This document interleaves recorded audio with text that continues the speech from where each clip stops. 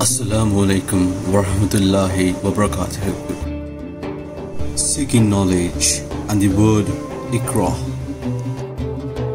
When Prophet Muhammad, peace be upon him, received his first revelation in Cave Hira through Angel Jibril, he was asked to Iqra, which means read.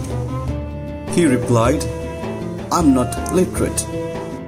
He was asked two more times to read, but he answered again that he could not read.